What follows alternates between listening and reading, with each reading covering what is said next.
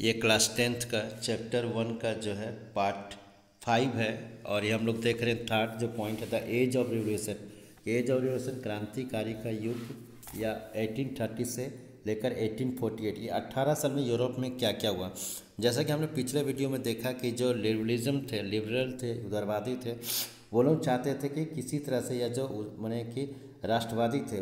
कि वो चाहते थे किसी तरह से क्रांति का, जो क्रांति है, वो पूरे यूरोप में फैले। तो as conservative regime try to consolidate their power जो कंजर्वेटिव थे उदारवादी थे, जो चाहते थे कि राजा हो, वो अपना शक्ति बढ़ाते जा बढ़ाते जा रहे थे। और दूसरी ओर जो उदारवादी liberalism and nationalism came to be increasingly associate with the revolution in many region of Europe Europe के क्षेत्र में ये क्रांति फैलते गई such as Italian and German state चाहे इटालियन स्टेट हो या जर्मन स्टेट का वही हो, या फिर जो ऑटोमन एम्पायर का जो प्रोविंसेस था। आयरलैंड का प्रोविंस क्षेत्र था या पोलैंड का क्षेत्र वहाँ भी मैंने कि रिवोल्यूशनरी चाहते थे कि कुछ चेंज हो, राजतंत्र हटे।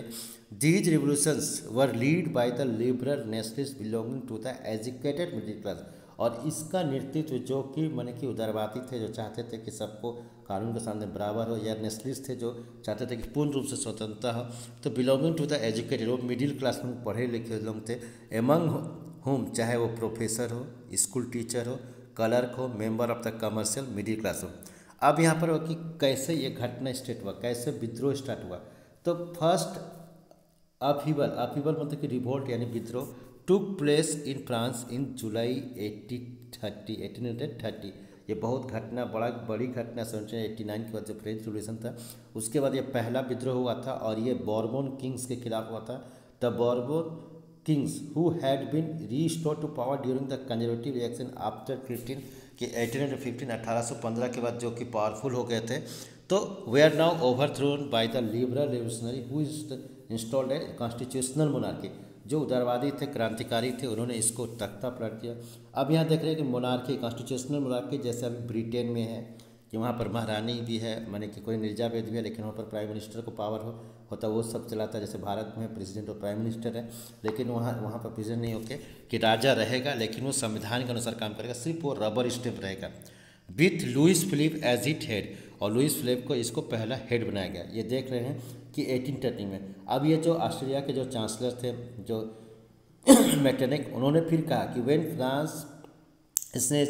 जब फ्रांस छींकता है तो once remark the rest of Europe catch cold कि पूरे यूरोप को ठंड लग जाती है। यानी फ्रांस में जब जुलाई में रेवोल्यूशन आया, पहला विद्रोह हुआ 1830 में, वहाँ पर बॉर्बन डायनेस्टी को पूरी तरह से ख़त्म कर दिया गया तो इसका असर यूरोप में पड़ा। The July revolution spark in uprising in uprising यहाँ विद्रोह इन ब्रूसेस ब्रूसेस में हुआ which lead to Belgium breaking away from the United Kingdom to of the Netherland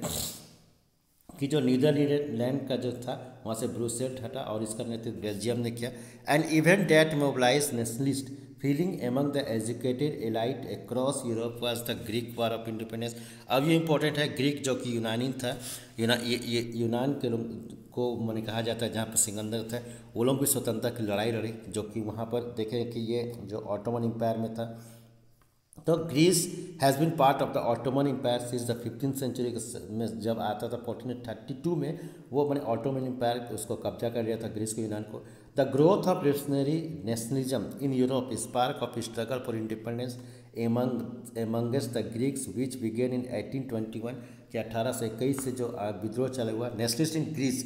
Greece got support from the other Greeks living in exile कि जो दूसरे ऐसे नेता थे जो कि निर्वासन में थे, जो ग्रीक से उनको निकाल दिया गया था, उनका भी सपोर्ट मिला। और उनको सपोर्ट मिला उस विद्रोही को जो लिबरल उदारवादी को also many West European had sympathetic for ancient Greek culture कि जो यूरोपियन के जो पश्चिमी यूरोपियन थे, जो कि ग्रीक कल्चर को ग्रीक को जो कि बहुत बड़ी कहानी थी ग्रीक यूनानी का उसमें दबदबा था, उनका जो संस्कृति था, उसको सपोर्ट करते थे।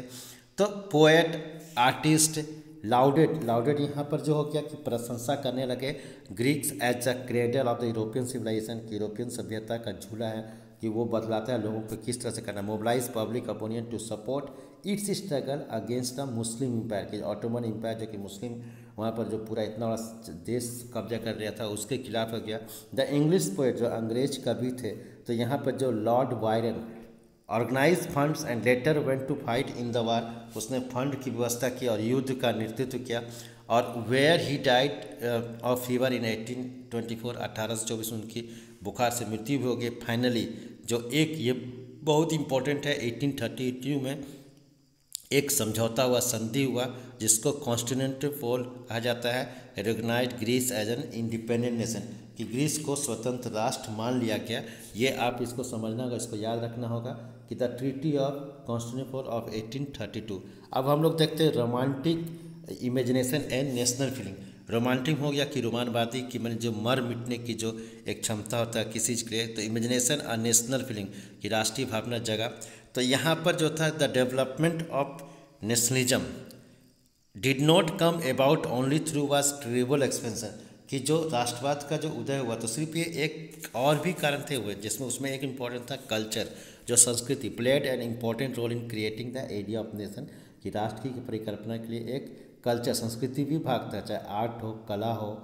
कविता हो स्टोरीज हो, संगीत हो help express shape nationalism feeling let us look romanticism जो रोमानवादी थे तो रोमान रोमांटिज्म क्या था? तो कल्चरल मूवमेंट एक सांस्कृतिक आंदोलन था। We sought to develop a particular form of nationalist sentiment कि राष्ट्र के लिए मर मिटने के लिए वहाँ पर ये हुआ। मैंने एकदम तैयार हुआ। तो रोमांटिक आर्टिस्ट जो कि रोमानिक कलाकार थे पोएट्स कवि थे जनरली क्रिटिसाइज उसको उन्होंने आलोचना, एक चीज़ का क्या क्या आलोचना किया कि जो glorification of reason in science कि ग्लोरिफिकेशन मैंने महिमा मंडल, उन्होंने आलोचना किया कि जो तर्क और जो विज्ञान है, उसका जो महिमा मंडल किया जा रहा है, उसकी आलोचना की रोमांटिज्म ने, और कहा कि उसको यहाँ पर आगे हम लोग देखते भी हैं कि and focus instead of an emotion और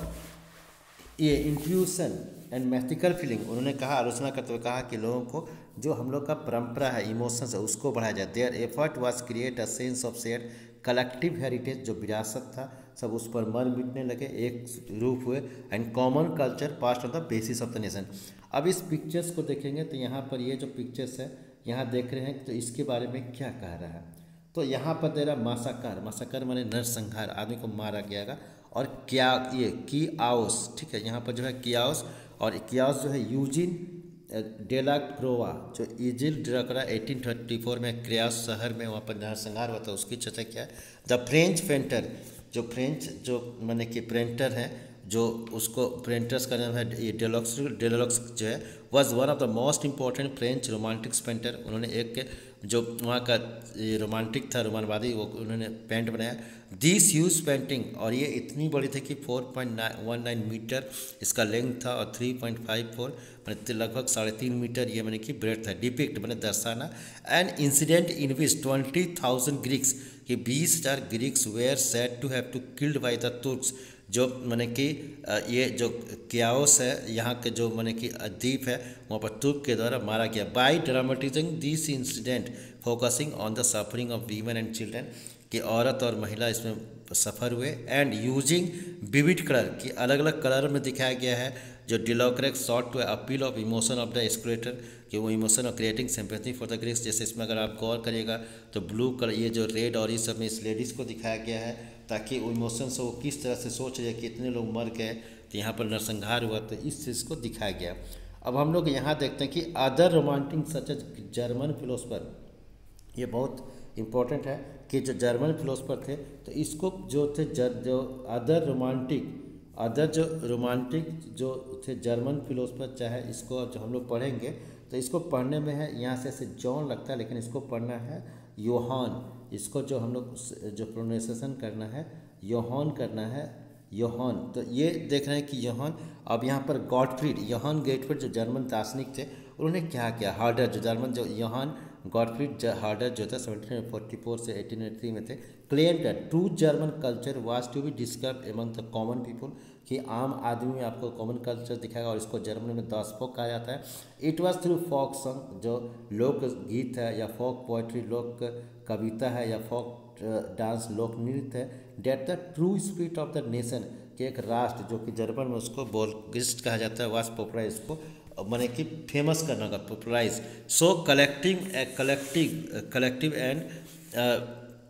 जो कल्चर है, उसको लेना होगा recording these form of folk cultures जो हम लोग का लोक संस्कृति है was essential to project of the nation building तो यहाँ पर जो था, ये राष्ट्र को बनाने की चर्चा की गई। The emphasis of the